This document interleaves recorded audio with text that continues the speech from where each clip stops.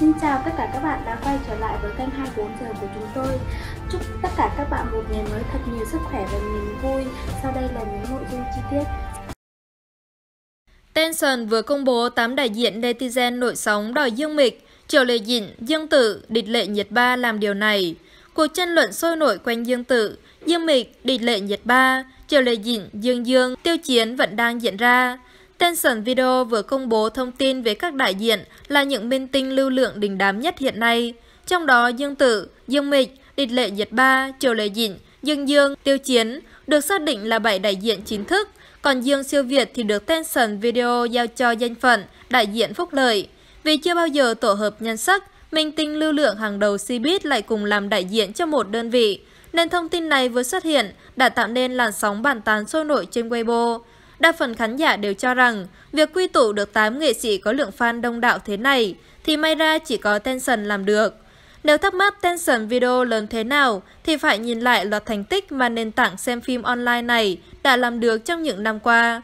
Không chỉ đầu tư sản xuất phim ảnh và chương trình giải trí, Tencent còn có hàng tá những hoạt động thúc đẩy, quảng bá nghệ thuật thực sự hiệu quả. Hợp tác với Tencent Video cũng đồng nghĩa với việc Dương Tử, Dương Mịch, Địch Lệ Nhật Ba, Triều Lê Dịnh, Dương Dương, Tiêu Chiến, Dương Siêu Việt không lo lắng về tài nguyên phim ảnh trong thời gian tới.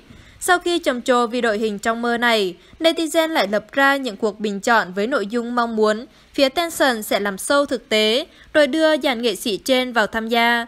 Khán giả hào hứng với cuộc chiến giữa Dương Mịch và Triệu Lệ Dịnh vì hai cô nàng này nổi tiếng với loạt thông tin tiêu cực về đối phương.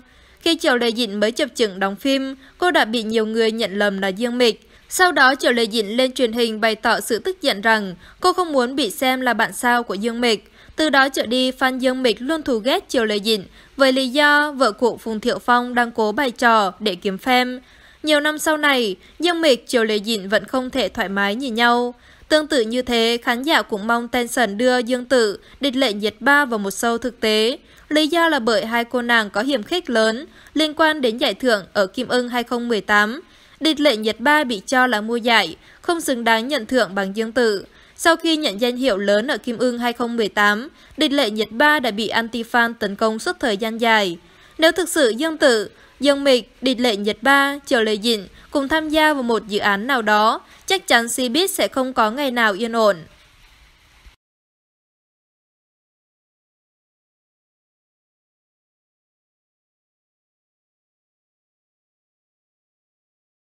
Bản tin của chúng tôi đến đây là kết thúc. Cảm ơn các bạn đã quan tâm theo dõi. Hẹn gặp lại các bạn ở những tin tiếp theo.